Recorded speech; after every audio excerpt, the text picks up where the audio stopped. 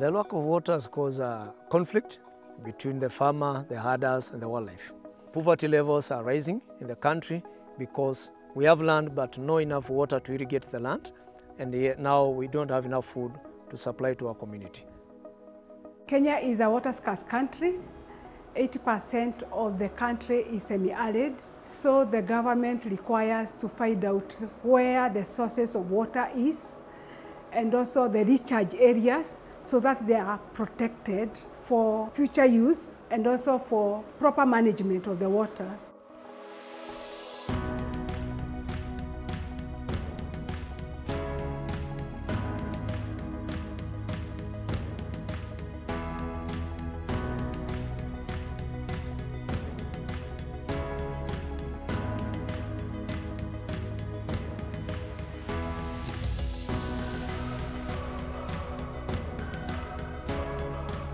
What has been built here is a wall. We also have an intake system. So we have two intake systems going different ways, and that is to ensure that we are providing water to two different communities to avoid any conflict in the area.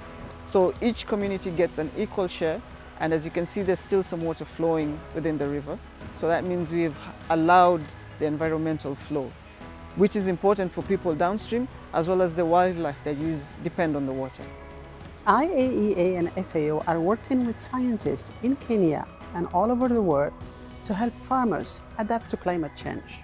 Nuclear science and technology help increase crop yield, protect water resources, and feed people.